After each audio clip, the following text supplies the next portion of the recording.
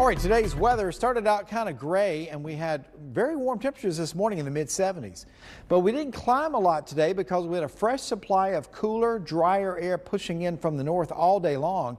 And we were from the mid 70s only to the mid 80s. But everybody was warm this morning in the mid 70s. But you can just see how the day turned out beautiful and the temperature went up very slowly. And tonight it feels great outside. Right now 71 at PTI, 84 the high today, 75 was the low this morning. So we've already gone below that and have a new low for the day. Temperatures across the area are in the low to mid 70s from the Triad South. We'd have some 60s showing up like Madison is down to 63 right now. Beech Mountain's 59.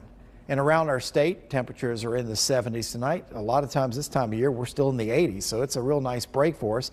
Satellite radar is quiet. Nothing is going on. There were some showers way down to the south today, but those have scooted on out as that front continues to go farther south. High pressure in charge is taking good care of us right now, and we get another comfortable day tomorrow. And then as we work into Wednesday, we're still not too bad, but that warm front's knocking on the door, and when it goes by, here comes the heat again.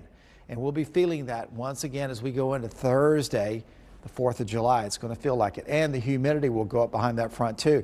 Now, where we are right now, we're going from moderate levels of uh, humidity, muggy meter, all the way down to dry tomorrow. It's going to be a real comfortable day. But then look where we go. Day by day, it climbs and it goes from the bottom, which is where you want to be, dry, all the way to the tip top, which is where you don't want to be. That's tropical air mass.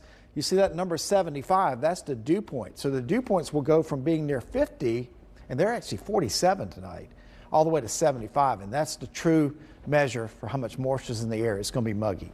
Now, as you look at our forecast rainfall, nothing going on through Wednesday. Small chance on the 4th, really a tiny chance, not really enough to really worry about. A little bit better chance on Friday. Each day it gets a little bit higher into Sunday we see some as well. Now, we won't be getting any moisture directly from this system, but there's a tropical storm out there that's quite a hurricane right now, and you can see where it is working its way across the islands and going into the Caribbean. And look at the wind speeds.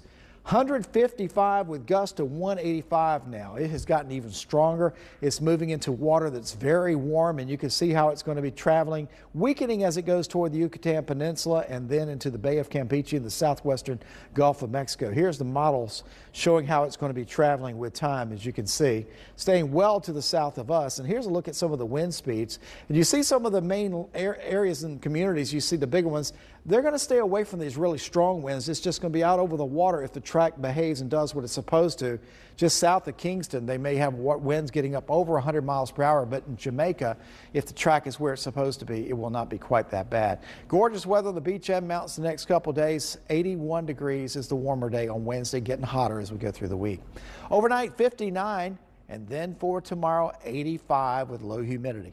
Looking at your seven day forecast, 88 Wednesday, but here come the 90s. Thursday, 93. Friday, 96, 94 degrees on Saturday, 92 on Sunday, 91 on Monday. 8 to 12 days out, we still got more 90s, but we got better rain chances. So maybe a new weather pattern setting up with more consistent rain. That'd be great. Three degree guarantee. Tonight's low 59. My guarantee for Saturday was for a low of 72, and it was 74.